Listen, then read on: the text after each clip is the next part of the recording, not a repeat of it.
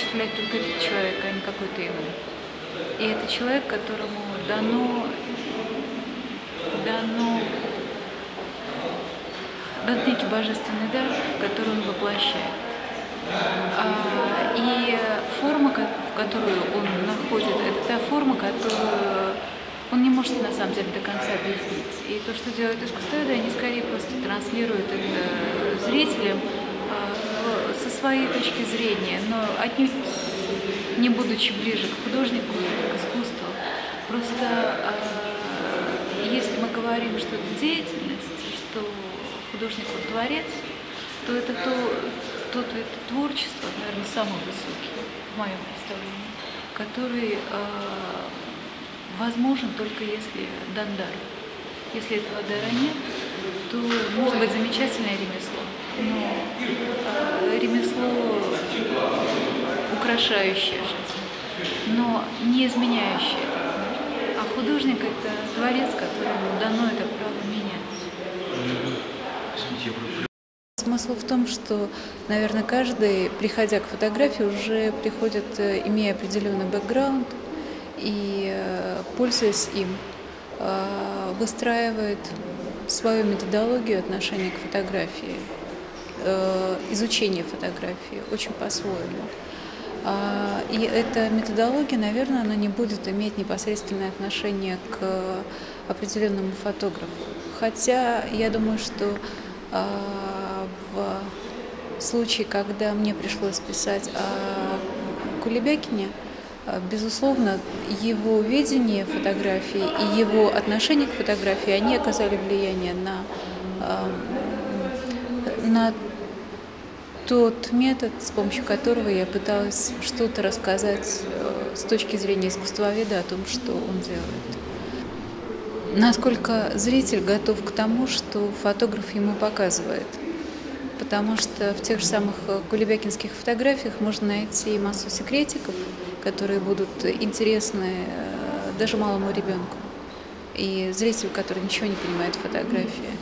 И будут вещи, связанные уже с космосом, то, что поймет человек, э, может быть, всю жизнь проведший за книжками и впервые, наконец, увидевший, как весь этот багаж знаний может быть воплощен в одном образе. Художественность — это когда наверное, создается целостный образ, в котором все присутствует.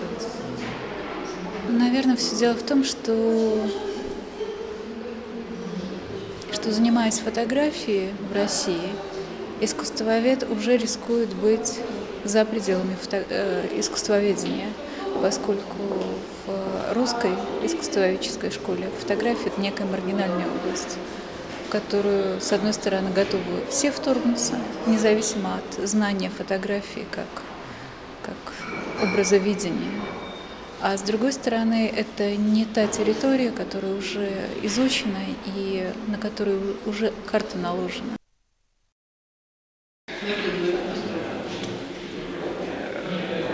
Присутствие. Я вам очень и ответить на пару вопросов. Вы никак не могли ответить. Почему? А ты точно ответишь на все вопросы? На все нет, но что ты, не бойся, ты скажи. Ты что, брат? Поэзия непереводимая. Нет. И проза в каком-то смысле тоже, так сказать, трудно переводить. В общей степени. А поэзия всегда автобиографична, вот, как мне кажется. Скажите, вот, можно ли говорить об автобиографичности фотографии? От небольшой части поступа, поскольку э, человек поэзию из головы берет, а фотограф картинки берет из реальности. Поэтому они э, даже не столько автобиографичны, и автобиографичны, пожалуй, э, можно говорить в последнюю очередь. А скорее они э, ну, попытка разговора с реальностью и, и что-то вот потом да, получается в виде картины, возникает новая реальность. Вот, поэтому, может, оно даже лучше, поскольку, поскольку от себя становится все меньше и меньше. Поскольку, поскольку фотограф э, имеет дело э, не только сами собой, но и с реальностью, который диктует ему правила. Может быть ремесло без искусства, э, но не может быть искусство без ремесла. Бывает и такое, ну, наивное искусство есть, они э, красят и все, и время ремесла там толком. Ну, бывает, что и нет. Бывает даже, что и Не. В наивном искусстве легко. Но возвращаясь Но к это не наш так сказать, э, ремесло, вот вы вот эту границу, когда вот появляется искусство,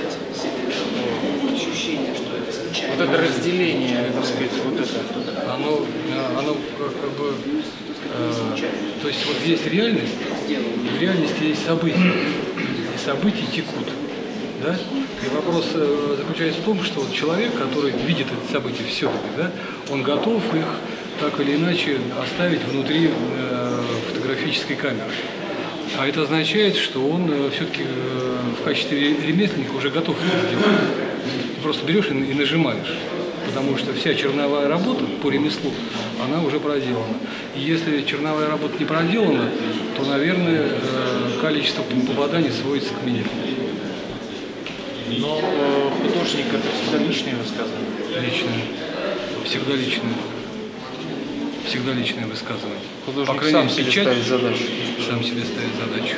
И одновременно э, задачу ему диктует реальность. И вот нас таки того и другого, и возникает нечто, что не является от себя и не является, конечно, реальностью.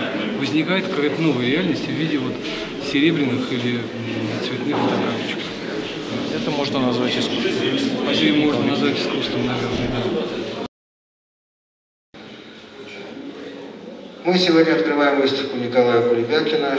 Это действительно, наверное, наш самый загадочный фотограф. И загадка его, наверное, в том мировосприятии, мироощущении и в силу этого в том образе жизни, который он ведет.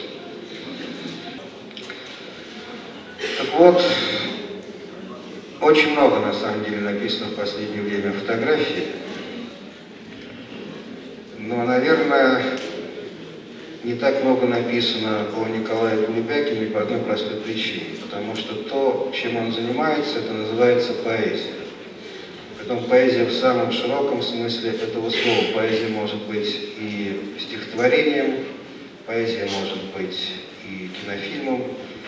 Поэзия – это состояние, извините за некую банальность, это состояние души, это отношение к миру и способность из тех совершенно обычных наших для каждого из нас переживаний, впечатлений, создать нечто такое, что абсолютно невозможно расчленить на какие-то составляющие части без того, чтобы это произведение и эту поэзию не убить.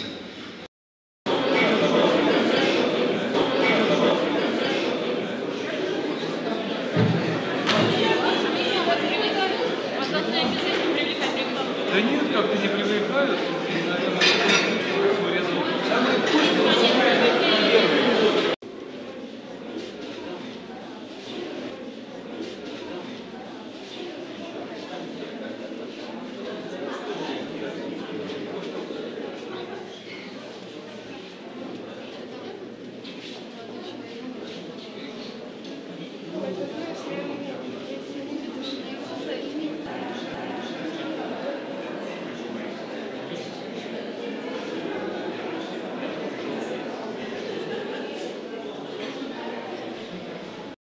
То могу сказать, что э, он вообще обратил меня, он меня, он мне очень много дал.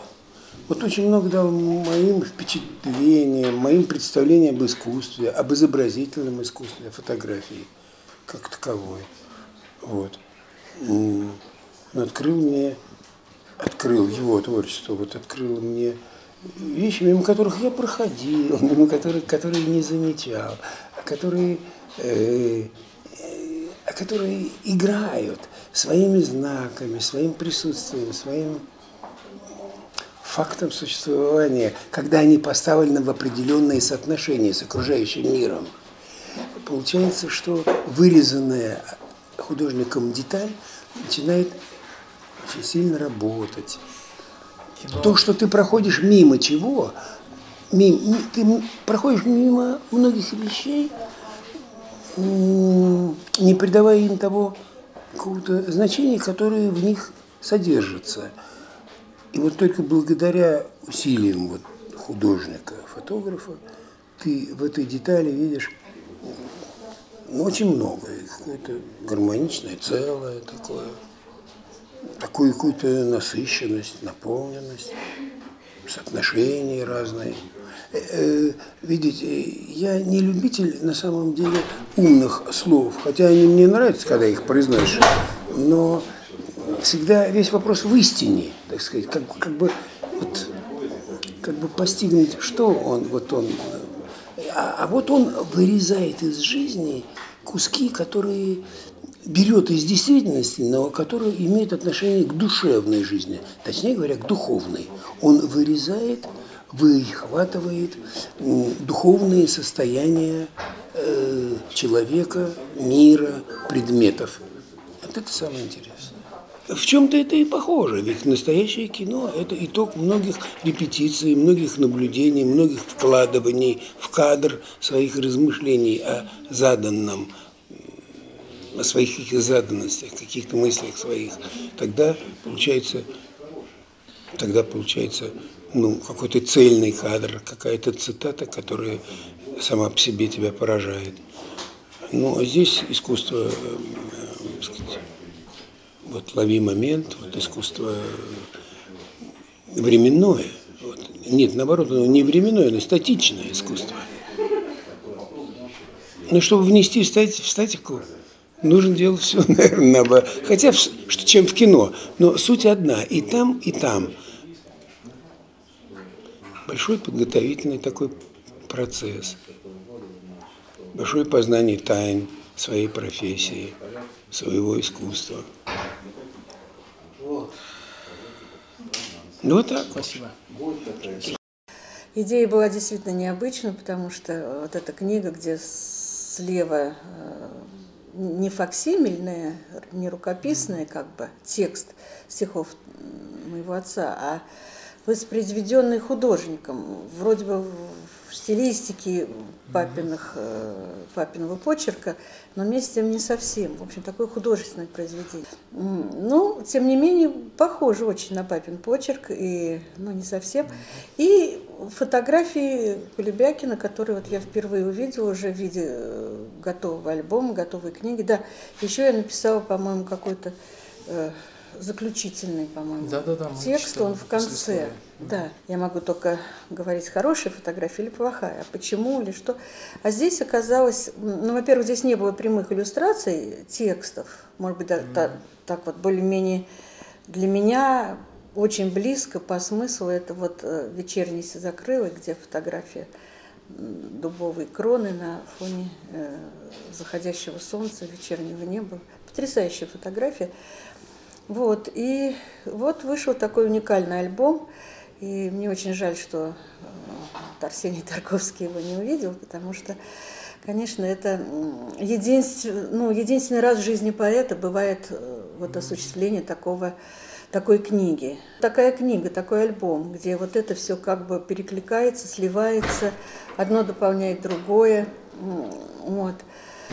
И я очень рада, что это появилось, и что это будет жить, э, и будет жить и после нашей э, с Колей смерти. Это, это все останется. Да, мы будем жить. вот.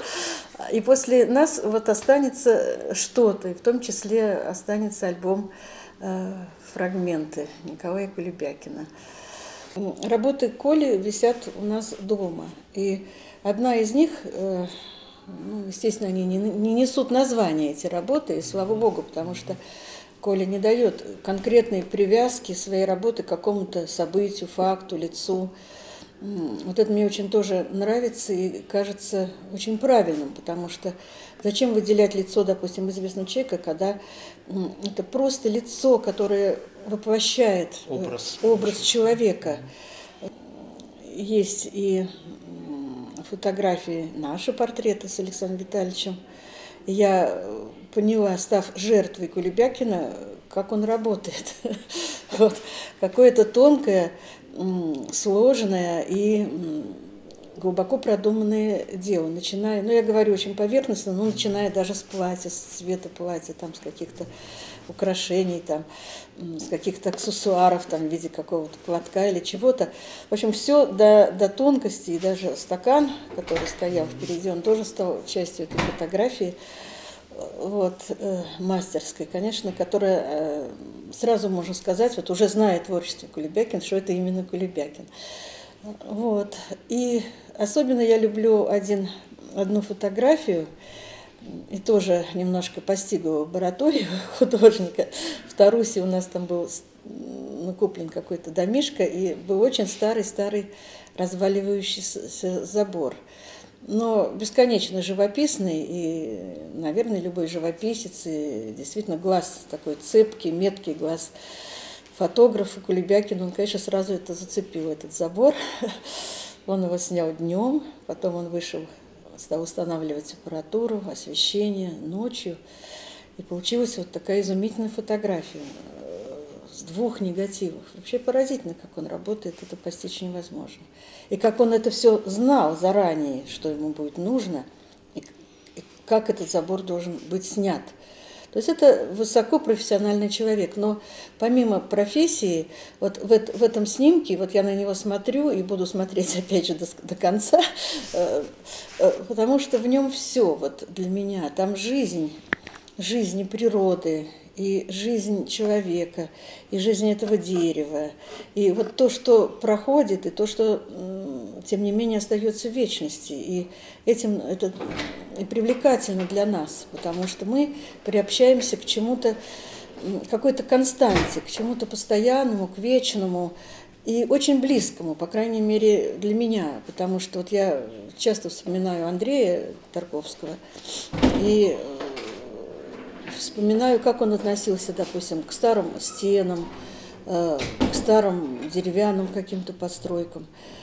И что он в этом находил. И вот в этом смысле они очень близки с Николаем вот, в своем понимании мира. И то, мимо чего проходит э, миллионная какая-то толпа и ничего не замечает, а они замечают. И вот я даже провожу эту параллель мне кажется, с полным основанием вот с Андреем Тарковским. Потому что если он открыл нам мир природы во многом, э, мир э, текущей воды, допустим, водорослей, которые колышутся, то это все есть у Кулебякина. Понимаете, это есть у Кулебякина вот в этом остановившемся мгновении. Ну, недаром кино а, Тарковский назвал запечатленное время, то есть время зафиксированное, э, время остановившееся. Но кинокадр более протяженный, а кадр э, фотопленки, он, он единственный, он уникален. Ну вот так могу сказать. Спасибо, Марина Для экспонометра тоже хороший Вы понимаете, Николай действительно человек абсолютно уникальный. Это тот человек, на котором держится, собственно, культура. Отчасти это, разумеется, явление сугубо наше национальное российское. Потом я никоим образом не хочу сказать что-то уничижительное ни о западной культуре, ни о нашей культуре. Это просто действительно некое своеобразие нашего вот развития. Все-таки русский художник. Нашей, нашей культуры. Он русский художник просто именно в силу того, как он относится к своему таланту. Он его не продает это как бы особенности действительно тех людей, которые живут в России, которые одарены. Если вы атеист, можете сказать от природы, если вы человек верующий, можете сказать от Бога, но есть талант. Талант не разменивается, не зарывается в землю. Этот талант пестуется, бережется, и на самом деле он составляет как бы суть жизни человека. Вот на таких людях на самом деле все держится по крайней мере, в области культуры. Спасибо. Ручная вязка. Вот это ручная вязка действительности. А вот это ручная вязка действительности, правда, да? Не знаю. Мое впечатление. Вот, вот для меня фотография это, это когда ты э, связал эту действительность. Вот ты вышел из дома в нужный час, ты выпил нужную чашку кофе или чая, ты перезвонил своей приятельнице вовремя, или что договориться на вечер встретиться, верно? И потом ты идешь по городу, и ты вот проходишь всеми этими путями, всеми этими связями. И по пути ты еще успеваешь щелкнуть так, что вот, какие-то определенные впечатления. И, и все это вместе, это мир фотографий, это мир кино, фотографии, это мир живописи, это не важно, это мир вообще.